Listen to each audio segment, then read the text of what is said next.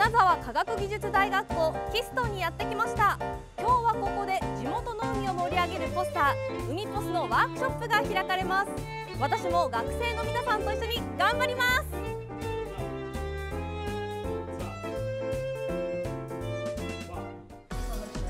海ポスワークショップにはキストの1、2年生28人が参加しました。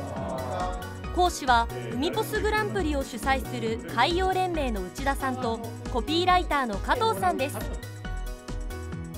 実はキストの学生たちは海ポスグランプリ入賞の常連なんです。2018年は大ヶ谷千里奈さんが石川エリア賞を受賞しました。去年はま入賞しましたが今年はまず意気込みは？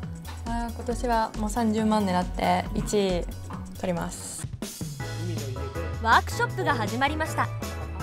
今回は橋立海水浴場の画像にキャッチコピーをつけます。学生たちはスマホにダウンロードした画像でレイアウトを考えたり絵コンテとコピーを紙に書いたりして試行錯誤を重ねます。川口リポーターも挑戦。みんなの作品を見ながら加藤さんがポイントやコツを解説しました。え海きれいだねみたいなメッセージだとみんな他の人とかぶってしまうので人と違うアイデア人と違う考え方っていうのを出せた人の方が強い。これがすっげえ気になるんだよ。これは何だろう？何があるんだろうと思ってこれ引っかかるなって思ったのともう一つはこれ。なんか他の人と視点が違っててちょっと面白いかな。これ書いて。あれ？マジか。あれ？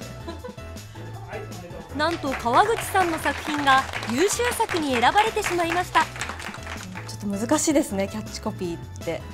あのー、学校ってなんですかね真面目に考えなさいって常に教えられるんですけどキャッチコピーってあのふざけなさいなんですいつも自分で考えてる言葉をそのまんま出してもらえると楽しくて面白いものになると思いますワークショップに参加されてどうでしたか？そうですね。授業と違ってその見せながら自分の考えたやつをみんなに公開するっていうのがすごい新鮮な体験でした。どんなポスターにしたいですか？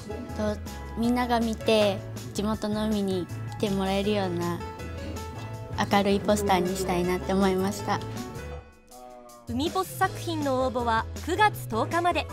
皆さんもぜひ挑戦してみてくださいこの番組は日本財団が推進する海と日本プロジェクトの取り組みの一環です。海ポスに応募しよ